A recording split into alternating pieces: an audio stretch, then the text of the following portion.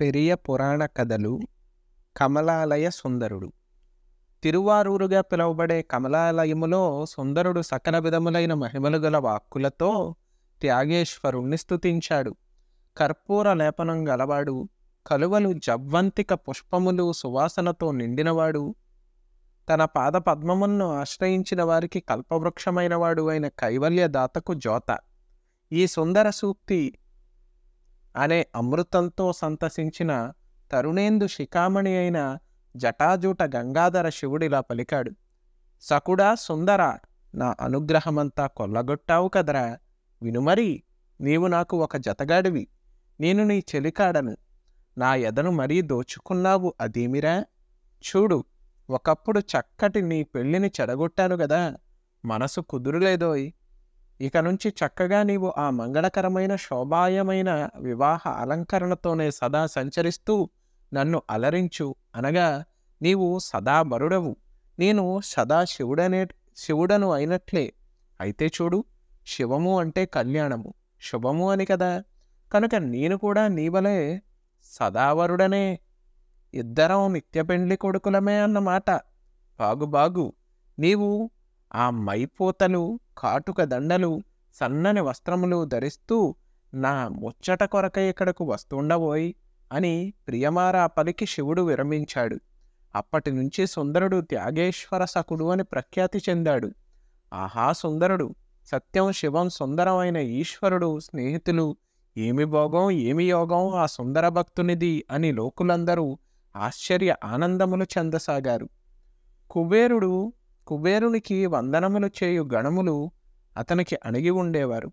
పార్వతీదేవి పాలిండ్లపై సంక్రాంతమైన కర్పూర లేపగంధం అంటుకున్న శివుని వక్షస్థలమును కౌగిలించుకున్న కుమార సుబ్రహ్మణ్య స్వామిని తనవానిగా సుందరుడు భావించాడు.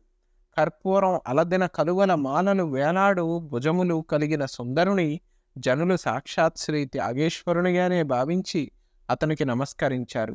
ఇదిలా ఉండగా కైలాసములో సుందరాసక్తులైన గౌరీ పరిచారికలు శాపము చేత భూమిపై మానవ జన్మనెత్తారు. వారిలో మొదటి స్త్రీ కమలిని కమలాలయములో త్యాగేశ్వరుని దేవదాసీ వంశములో పుట్టి ముక్తురాలిగా ప్రకాశించింది. రూపలావణ్య సౌందర్యముచే అందరినీ మోహింపచేయునట్టు చేయనది కాబట్టి తల్లి ఆమెకు పరవాని పేరు పెట్టింది. తల్లి లాలనలో పెరిగిన ఆమె సాముద్రికములో చెప్పబడిన శుభలక్షణాలన్నీ కలిగి ఉంది. చాలా విద్యలను చురుకుగా నేర్చుకుంది. నృత్య గీత చిత్ర నిర్మాణములు వివిధ భాషా లిపులలో అనుభవం సంపాదించింది. పాల సముద్రం వంటి ఆమె యవ్వనం శివప్రేమ అనే కొద్దిపాటి తోడును పెట్టగా గనీభవించి ఏర్పడిన చిక్కటి మేగడ వంటి ఆమె లావణ్యం జనులందరికీ నోరూరింపసాగింది. వసంత ఋతువులోని మాధవీలత వలె శరత్కాలములోని సన్నని చంద్రరేఖ వలె వర్షాకాలపు విద్యుల్లత వలె ఉండి ఆమె కమలాలయము అనే ఆకాశంలో విరబూసిన ఇంద్రధనస్సు వలె మహత్ప్రకాశవంతంగా తయారైంది.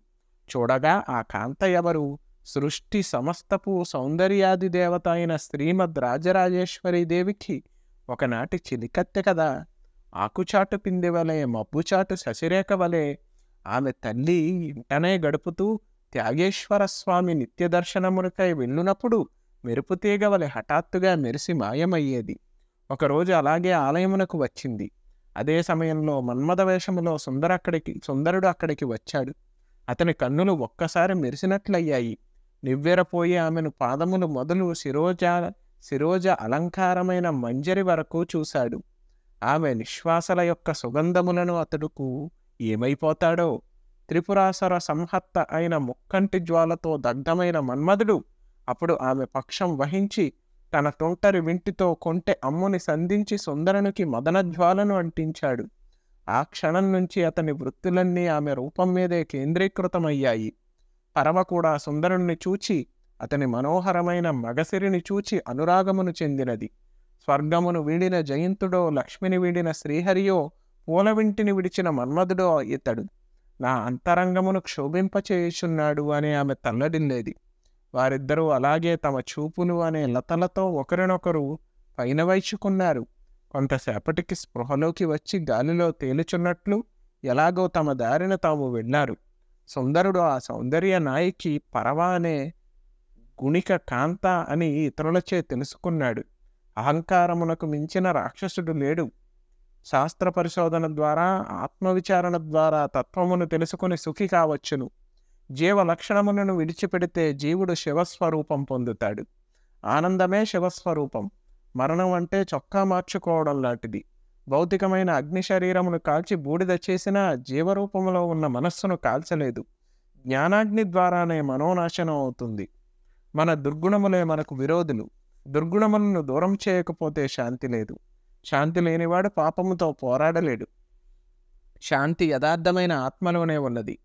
మనశ్శాంతిని పోగొట్టేది మన కోరికే. కోరికతో పనిచేసే ప్రతివాడు కూలివాడే. కూలివాడు ఆత్మ సామ్రాజ్యమును అధిష్ఠించలేడు. స్వాతంత్రమును పొందలేడు.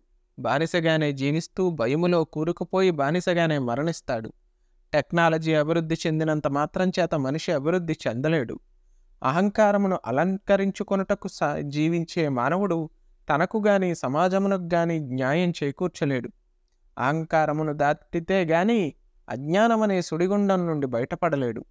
అహంకార రూపంలో ఉన్న నేనును పోగొట్టుకుంటే మోక్ష సుఖమును పొందుతాడు. అహంకారం చుట్టూ తిరిగే మనిషి సమాజ శ్రేయస్సు కోసం పనిచేయలేడు. విశ్వాత్మను దర్శించలేడు. అహంకారమునకు మించిన రోగం లేదు శోకం లేదు. దేహానికి మరణము రాక ముందే అహంకారము రాలిపోతే మానవుడు దానవుడవుతాడు.